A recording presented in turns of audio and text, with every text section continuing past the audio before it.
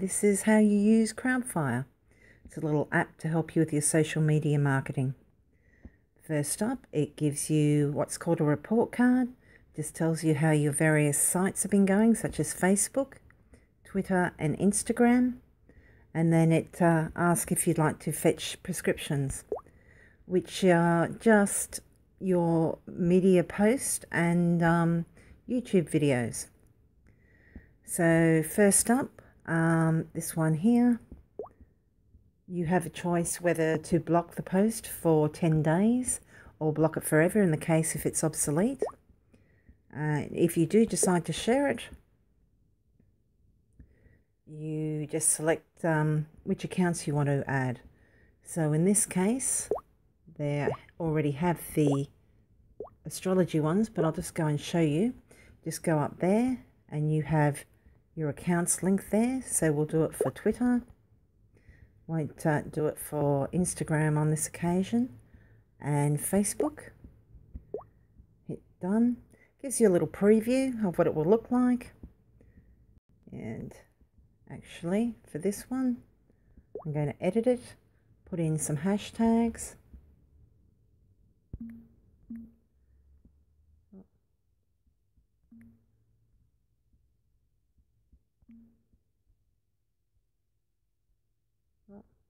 Fat little fingers. Done. So that one's ready. And Facebook. Put in a little message if you want.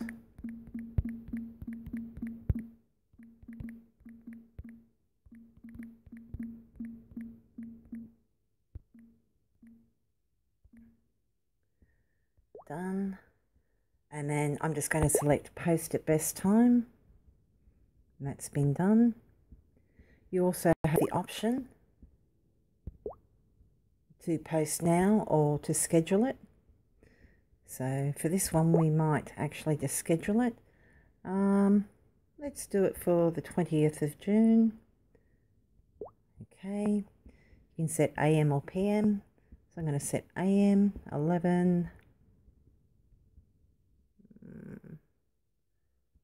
11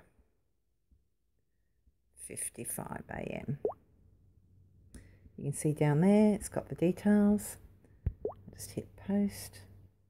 That's done. Or you have one like this which is old and obsolete so I don't want to see it again. I'm just going to block it forever. Same with that one.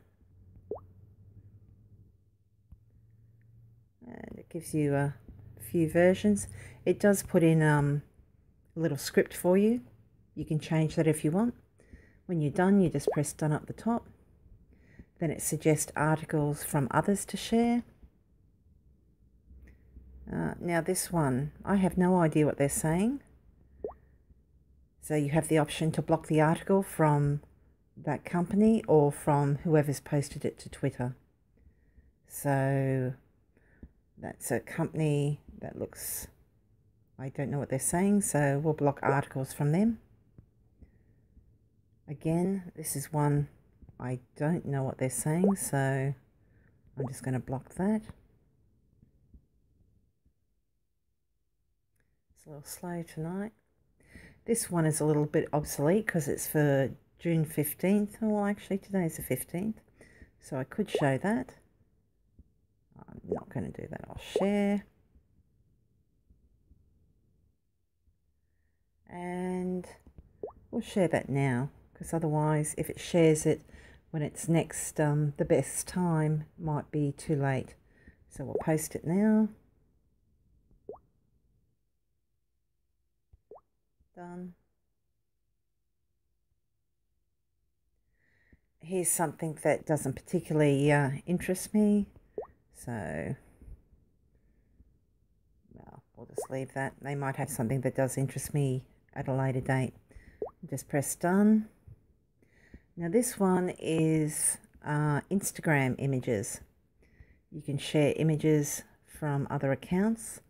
Um, I'm sure that it probably credits the person and um, Instagrammers can be a bit funny about sharing content though, so I usually just leave that. I'll hit skip. This is like these 50 smart, smart feed suggestions to increase your reach. Uh, this tells you why you should do that.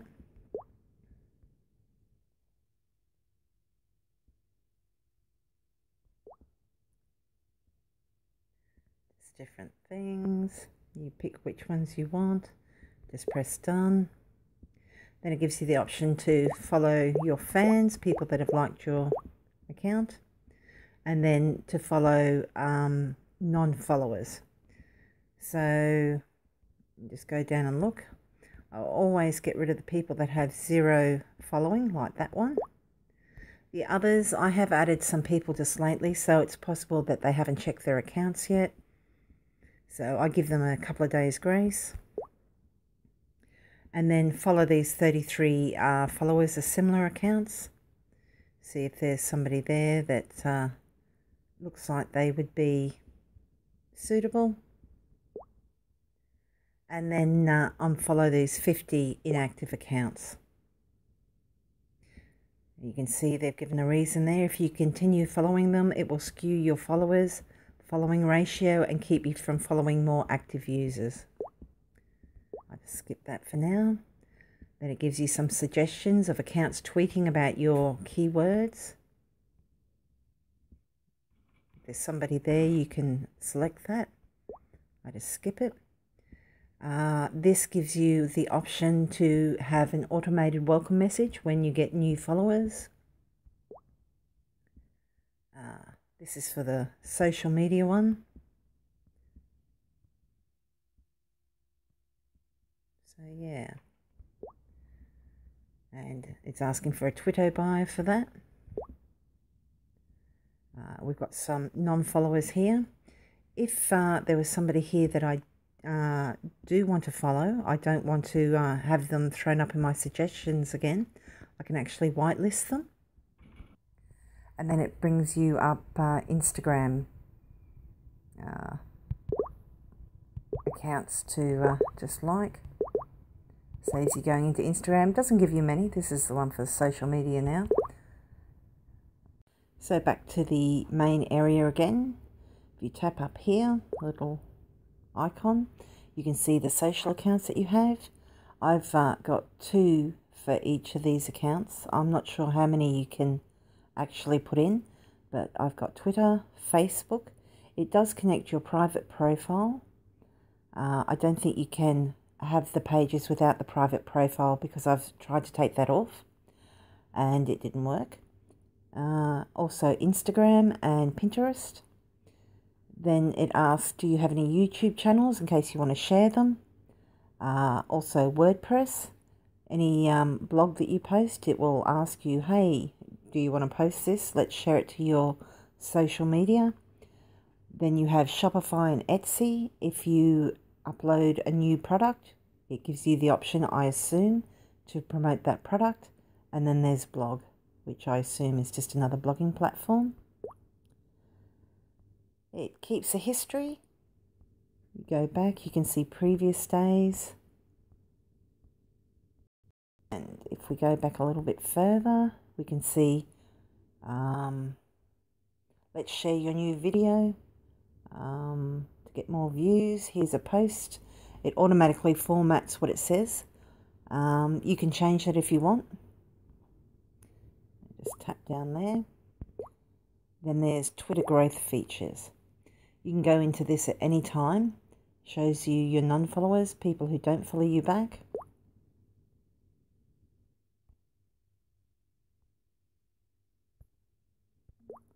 There's also fans, followers who you don't follow back. Might have missed them across the way.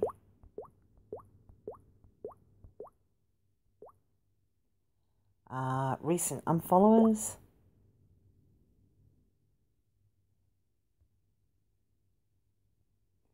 I've gone through and got rid of some of these.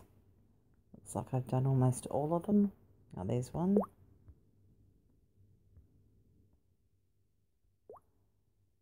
Um, recent followers. Inactive following, or following. Copy followers. This actually allows you to copy the followers of other accounts that are similar to yours. If you hit this little edit button, you can put in the uh, accounts of competitors or similar accounts. And um, if you just want to add a new account, you press that little button there and type in the name. And uh, yeah, so it just gives you who's following those accounts and you can go and follow those in the hope that they follow you back. We have our whitelist. These are people that um, we want to keep following. If you put somebody on there by accident, you can go and remove them. And by the same token, if you've blacklisted somebody that you um, don't want to follow them, you don't want any suggestions about following them, if you've um, put somebody on there by accident, you can also take them off that list. And then there's the auto DM, send an automated welcome message to new followers. This is for Scullywag Astro. I can change it to Scullywag Social if I want. And do an auto DM for them. Or it has all the same things for if I want to follow uh, copy followers for somebody there. I would put in, well, apparently I've already, no, I think that is still, it's still astrology. I'm sure they'll fix that up soon though. And that's that. If we go and have a look at Gmail, Every week I get a little report telling me how I did the previous week. You can see this one, it's 79 posts. I don't post to Instagram with this. Um, I do most of my Instagram posting through Buffer, another app I really, really like. Um, so it tells you how many new followers, how many unfollowers, and any interactions. What your longest streak was. Apparently last Tuesday I didn't do anything and uh, just a little encouragement. It only lets you post once a day. If I try to go in and do the prescriptions again, it comes up with a message saying, oops, you've already completed this set of prescriptions, Rockstar, way to go. So I hope you enjoyed that. Um, if you can hear that, that's my cat. I've um, had to edit this in a couple of stages because he's decided to get his two cents worth into. Anyway, I hope you enjoyed it and uh, have a nice day.